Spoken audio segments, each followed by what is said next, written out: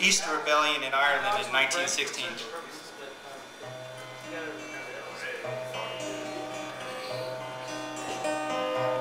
As down the glen one Easter morn to a city fair rode I. There are lines of marching men squadrons passed me by. No pipes did hum, no battle drum did sound its loud tattoo. But the Angelus bell or the Liffey swell rang out in the foggy dew.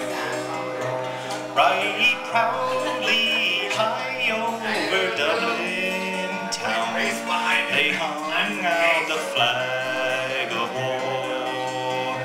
'Twas better to die neath an Irish sky than at Suvla or at Sud-El-Bar.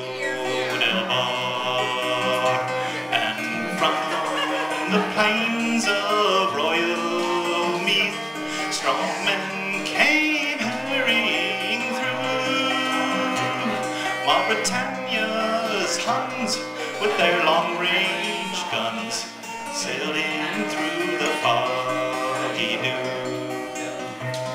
But the bravest fell, and the requiem bell rang mournfully and clear. For those who died at Easter tide in the springtime of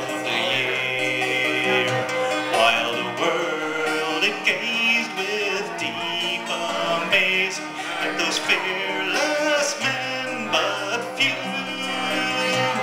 who bore the fight that freedom's light might shine through the foggy dew.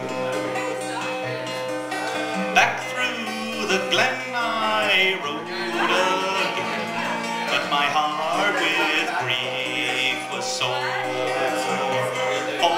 Parted then with valiant men, whom I never shall see no more.